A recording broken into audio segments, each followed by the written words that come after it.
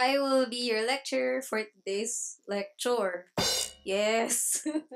Smart. Big brain. My God.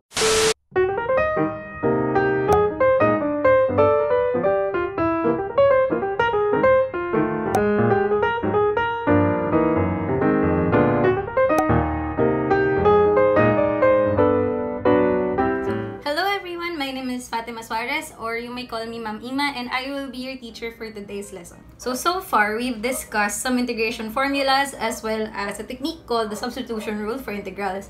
Kaso, hindi lahat ng integrals magagamitan natin nung mga yon. So, halimbawa, we have the integral x sine x dx kahit bali-balik na rin natin lahat ng formulas natin, hindi natin siya kayang isolve using substitution. So, sa mga ganitong kaso, kailangan natin ng ibang technique para ma-solve ito, which is what we call nga integration by parts. You can think of integration by parts as parang kabaliktaran ng product rule for derivatives. And product rule for derivatives ang gagamitan natin to derive the formula for IBP. So first, let's recall the product rule for derivatives. Ano yung formula natin?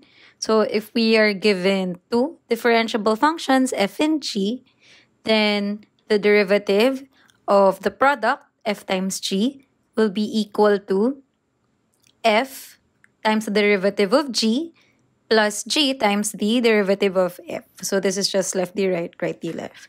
And then we will transpose the term g f prime of x to the other side.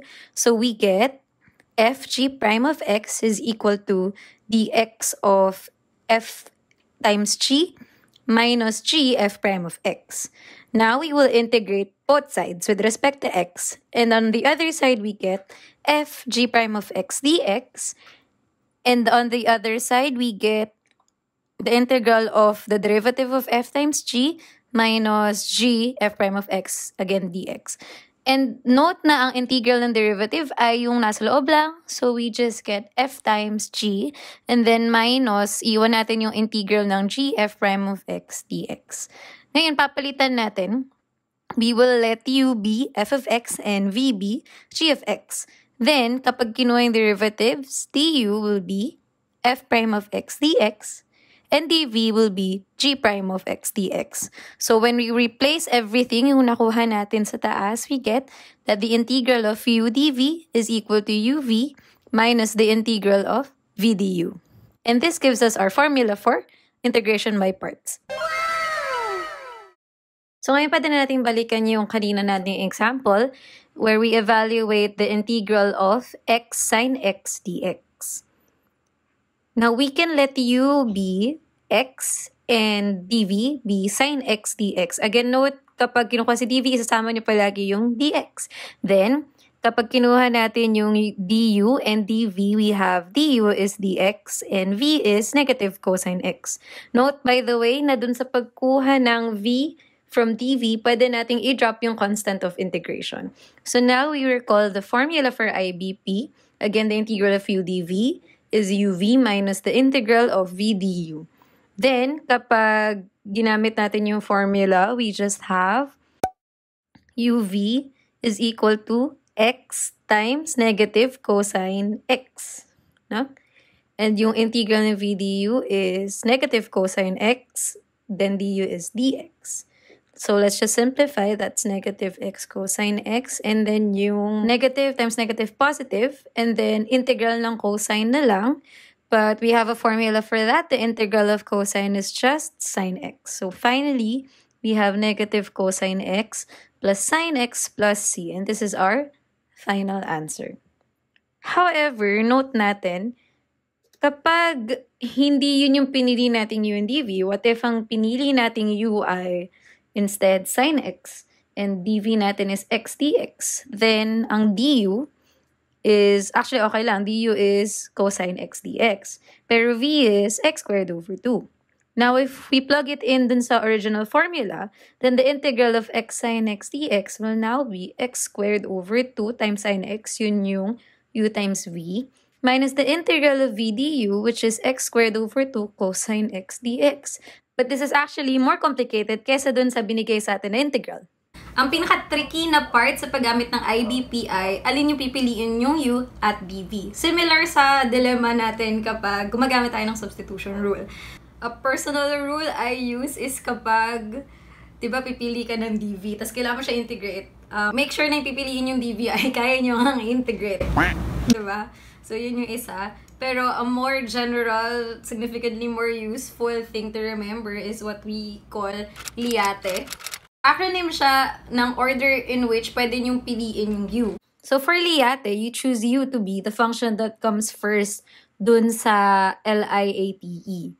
So L stands for logarithmic function, I stands for inverse trigonometric function, A stands for algebraic function, T stands for trigonometric function, and E stands for exponential function. So now we move on to the following examples.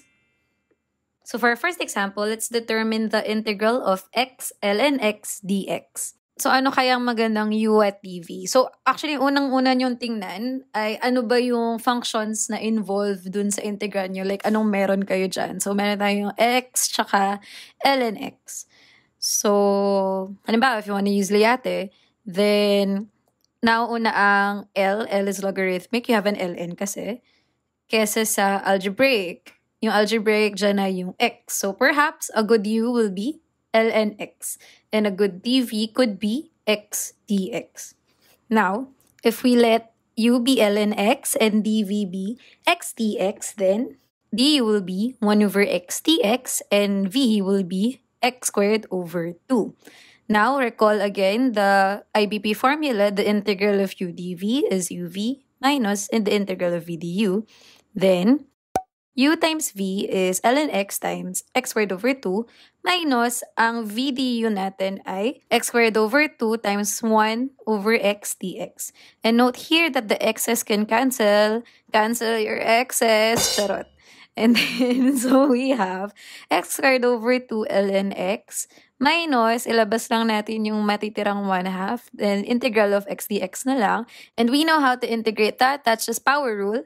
So you just have, again, x squared over 2 ln x minus 1 half times x squared over 2 plus c. And let's just simplify stuff further. So you have finally x squared over 2l and x minus 1 fourth x squared plus c. And this is our final answer. So for our next example, we have to determine the integral of x cosecant squared 2x dx. So halimbawa here, anong meron tayo? We have x and cosecant squared 2x dx. So ang pwede natin gawin, according again to Liate, mauna ang LIA. Oh my God. What is the alphabet? we have LIA. A is algebraic. Yun yung X. And then TE. So, mauna yung A dun sa T. Where yung T natin is cosecant squared. So, so ang pwede natin kuning U is X. And we can take dV to be cosecant squared 2X dx. So, that gives us du will be dx and v, so we have cosecant squared. So ano ang integral ng may cosecant squared? Negative cotangent. So note lang here, uh, meron tayong 2x sa loob. So you have to do chain rule. So again, note pala by the way na at any point, if kailangan nyo ihiwalayan separately, solve for kung ano yung magiging integral ng v, then by all means do so. Mas important that you are able to do it correctly than quickly. Okay? Especially when you're starting out. So again, we have V will be negative cotangent 2x pero chain rule so dapat meron kang i-divide na 2. So that's why you have times 1 half there. So okay. The integral of x cosecant squared 2x dx will be equal to, again, according to our IBP formula, the integral of u dv is equal to uv minus the integral of v du. So kapag plinag in natin, we have that the integral of x cosecant squared 2x dx will be equal to, ang u times v natin is x times negative 1 half cotangent 2x, and then minus the integral of v du, where v is negative 1 half cotangent 2x and then times dx. So let's just simplify. We have negative 1 half x cotangent 2x. And then labas lang natin yung minus 1 half. So that will be positive 1 half times the integral of cotangent 2x dx. And now we will consider the integral of cotangent to x dx separately. So let's just call this one star. Um, you can use whatever you want. Bala kayo, you make it fun. And then, so let's call that integral star. So note that cotangent is, ano san equal so lang cotangent? from math so 14. From, question mark, oo. So recall from math 14 or 17 or childhood na ang cotangent ay equal sa cosine over sine. So we can write cotangent 2x as cosine 2x over sine 2x. And note, by the way, na we can solve this using substitution. So if we let y be sine 2x, then dy will be cosine 2x times 2 dx. So rewriting everything in terms of y, this gives us 1 half times the integral of dy over y, which is equal to 1 half ln absolute value y plus some arbitrary constant c sub 1. And again, lahat ng i-substitute, ibabalik. So you just have 1 half ln of absolute value sine 2x plus some c sub 1. And I think that's everything. So going back to our original integral, we have that the integral of x cosecant squared 2x dx is equal to negative 1 half x cotangent 2x plus 1 half times yung nakuha natin sa star, which is quantity 1 half ln absolute value sine 2x. And then, ultimately, you add a plus c. So, actually, okay na yan sa akin. Pero if you want to simplify further, you can just distribute the constant. So, finally, you have negative 1 half x cotangent 2x plus 1 fourth ln absolute value sine 2x plus c. And that is our final answer. So for our next example, we need to solve for the indefinite integral of e to the x cosine x dx. So again, what do we have? We have an e to the x and we have cosine x. So we can choose u to be t before e cosine x and dv to be e to the x dx. Now this will give us du equals negative sine x dx and v will be e to the x. So again, let's recall the IBP formula. The integral of u dv is equal to uv minus the integral of v du.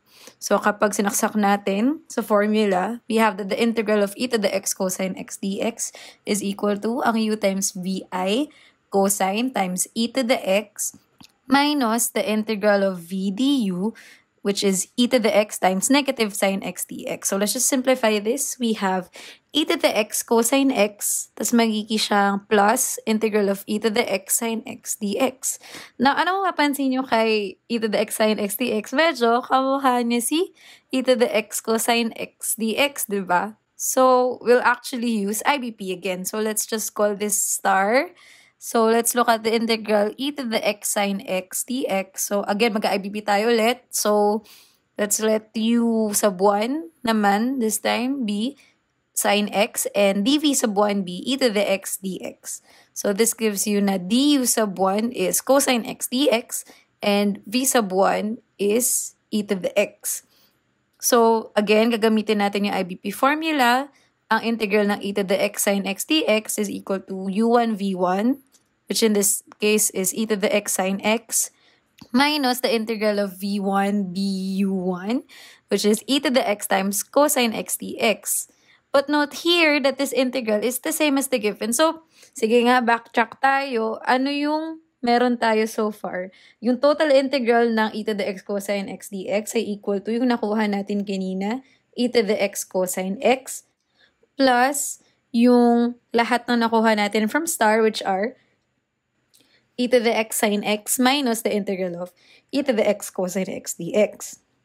Pero since yung integral of e to the x cosine x dx appears on both sides of your equation, pwede lang natin silang pagsamahin to one side. So we have on one side 2 times the integral of e to the x cosine x dx will now be equal to e to the x cosine x plus e to the x sine x. And actually, nagkamali ako dito. Technically, dapat may plus na since tapos na yung integration, quote-unquote. Pero, okay lang. Importante sa pinakadulo, sa final answer, meron kayong plus c. So, basically, gusto lang natin at this point i-isolate yung integral. So, finally, we have that the integral of e to the x cosine x dx will be equal to, so we divide both sides by 2. We have 1 half times the quantity e to the x cosine x plus e to the x sine x plus c. And that will be our final answer. Hi, editing email here. So, uh, I forgot to add this, pero Note, anong special sa integral na to? Una, more than once tayo nag-IBP. And two, kung napansin nyo, ano yung klase ng functions na involved? e to the x and sine and cosine. So, ano meron kay e to the x tsaka sine and cosine? Si e to the x, ang derivative at ang integral niya ay ang sarili niya, di ba? And si sine at cosine, kapag kinuha mo yung integral and yung derivative, parang nagpapalit-palit lang sila. So, sila yung tipo na hindi nauubos. OMG, ma'am, sana all hindi na ubos. Kahit mag-IBP ka, compared to, say, kapag meron kang algebraic term, say, x, di ba kapag derivative mo siya, magiging siyang dx na lang, and stuff like that. So, mag kayo sa mga ganong klaseng pag-IBP. Okay? So how does IBP change kapag definite integral na? Actually, not by much. So here we will combine our IBP formula from before as well as use the fundamental theorem of calculus. And para sa definite integral, we have to assume that f prime and g prime are both continuous on whatever interval you're going to integrate on. So we just have the definite integral from a to b of u dv is equal to uv evaluated from a to b minus the definite integral from a to b of v du. So in our next example, we can use that to evaluate the definite integral from 0 to 1 of x e to the negative 5x dx. So here we can let u be x and dv can be e to the minus 5x dx. Then this will give us du will be dx and v will be negative 1 fifth e to the minus 5x. So again, if you need extra time or separate space to solve that, we have nan gilid. And now, when we look at the definite integral from 0 to 1 of x e to the minus 5x dx, recall your IBP formula. We have uv, u is x, v is negative 1 fifth e to the minus 5x, and we evaluate that from 0 to 1 minus the definite integral from 0 to 1 ng VDU, which is negative 1 fifth e to the minus 5x dx. So, basically, evaluate lang natin as you would any other definite integral. We have, pag sinaksak si 1, minus 1 fifth e to the minus 5. Pag sinaksak si 0, 0 na. So, we just have negative 1 fifth e to the minus 5 for the first term. And for the second term, we can simplify that that will be 1 fifth 0 to 1 e to the minus 5x dx. And we know how to integrate this. This is the same as v. So this is just negative 1 fifth e to the minus 5x times 1 fifth from yung nasa labas. And we just evaluate that from 0 to 1. So we have negative 1 over 5 e to the 5. Binabalang natin yung e to the minus 5. Tapos we have minus 1 over 25 times kapag in-evaluate we will have e to the minus 5 minus e to the 0 and e to the 0 is 1. So finally, we just distribute. We have negative 1 over 5 e to the 5 minus 1 over 25 e to the 5 plus 1 over 25. And let's just simplify it a bit further. We just have so, yung 1 over 5 e to the 5 magiging 5 over 25. So, we will have minus 6 over 25 e to the 5 plus 1 over 25. And this is our final answer.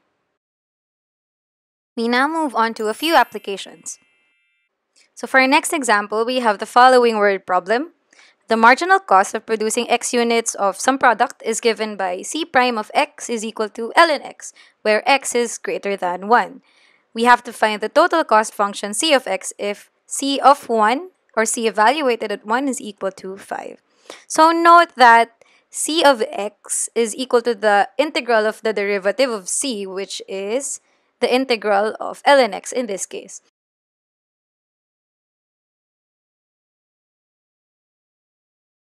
So, since wala tayong formula for the integral of ln x, perhaps we could use IBP.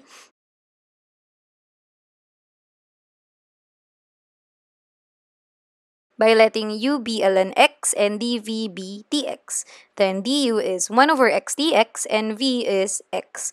So again, using your IBP formula, the integral of ln x dx is equal to uv minus the integral of v du, where you have uv is x times ln x minus the integral of v du, v is x, du is 1 over x dx. And again, cancel those x's. Yeah. So we have x ln x minus the integral of the x, which is just x. So finally, we have that the integral of ln x is x ln x minus x plus some arbitrary constant k.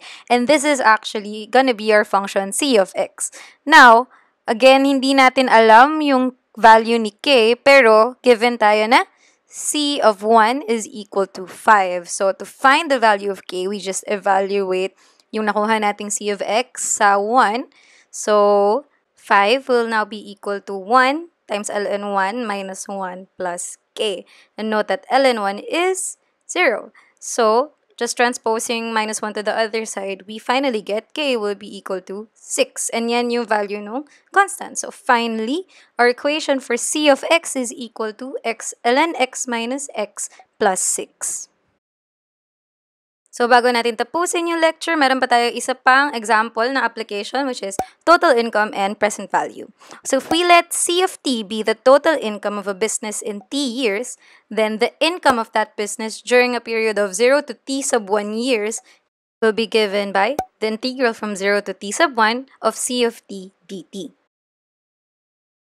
If we also consider an annual interest rate R, then the present value of the income over T sub 1 years, which is the total amount of money that would have to be deposited into the account so that the total amount on the account would be equal to the income up to time T sub 1 will be given by the integral from 0 to T sub 1 of C of T e to the minus RT dt.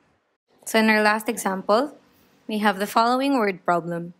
A company expects its income during the next five years to be given by the following cost function 100,000 T, where T ranges from 0 to 5 years. We need to find the present value of this income over the five year period, assuming an annual interest rate of 10%. So let's recall the equation for present value. Ang equation natin for present value ay the integral from 0 to t sub 1. In this case, ang t sub 1 natin ay 5 years. So this should be 0 to 5. Tapos, yung integrand ay cost function c of t times e raised to negative rt where ano yung given sa atin ang r natin which is the interest rate is 10% or 0.1. Okay, and again, t sub 1 is 5. So, plugging that in, we just have the integral from 0 to 5 ng 100,000 t times e raised to negative 0.1 t dt. Pwede natin i-factor out yung 100,000. So we are left with the integral of t e to the negative 0.1 t dt evaluated from 0 to 5. Let's call this integral star and let's consider it separately. So here, kailangan natin gamitan siya ng IBP. So we let u be t and dv be e to the negative 0.1 t dt. So this gives us du is dt and v is just, so this gives us du is dt and v will be e to the negative 0.1 t all over negative 0.1. Alright, so plugging these in into our present value formula, we get 100,000 times the integral from 0 to 5 of t e to the negative 0.1 t dt is equal to 100,000 times uv. Ang uv natin ay t times e to the negative 0.1 t. Tapos meron tayong negative 1 over 0.1. Tapos we evaluate that from 0 to 5. Tapos minus the integral of VDU. Ang VDU natin ay e to the negative 0.1 t over negative 0.1. So we have that. Tapos times dt. And we are taking that from 0 to 5. Evaluating the first part, we just get so 5 times negative 1 over 0.1. Tapos, e raised to negative 0.1 times 5 is negative 0.5. Tapos, minus 0 times something. Pero 0 na yun. So, wala na. Ang natira lang is this term. And then, yung kabilang integral, we know how to integrate this. This is just e to the negative 0.1. And then yung kabilang integral, so pwede na natin ilabas yung negative 1 over 0.1. So magiging siyang positive 1 over 0.1. Tapos times, ano yung integral niyan? We have e to the negative 0.1t over negative 0.1. And we need to evaluate that from 0 to 5. So basically ngayon, we just need to simplify. Medyo madugo lang, pero kaya natin to. So we have 100,000 times the quantity. Simplify ko lang to. Ang 0.1 ay 1 over 10. So pwede nating i-multiply dun sa 5 sa taas. We get minus 50. And e to the negative 0.5 is 1 over square root of e. And then we have yung negative 0.1, pwede nating ilabas multiply natin siya dun sa 1 over 0.1 sa labas. And ang 0.1 squared ay 0.01 or 1 over 100. So that gives us negative 100 times, ano yung matitira? We have e to the negative 0.1 times 5 or e to the negative 0.5 minus e to the 0. And then e to the 0 is 1. So when we write that out, we have 100,000 times negative 50 over square root of e.